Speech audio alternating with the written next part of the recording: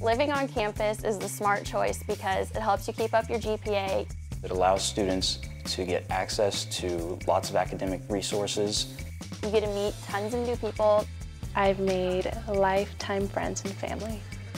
And you also get easier access to all the amenities that campus has to offer. Proximity is one of the biggest advantages for living on campus. I have enough time to get a breakfast at, at the cafeteria and then head on over to my class and it's just super simple, it saves a lot of time, it's really convenient. I feel very comfortable on campus because you know for a fact that you're always getting a good meal at the dining hall.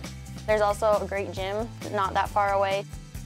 You always have a place to study, which is super important. I mean, you're going to college for a reason, so you definitely want those amenities.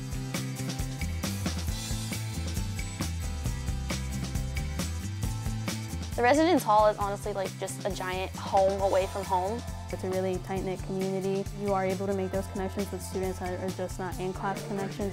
I was a little bit nervous. I even considered living with my grandparents, but I was excited to live on campus uh, just for the fact that I made a whole bunch of new friends. And it wasn't just my floor, it was the second floor, the fourth floor. We can get together and we can study if we're in the same class. We can join intramural sports together. We can get involved in clubs. We can just hang out and have movie nights.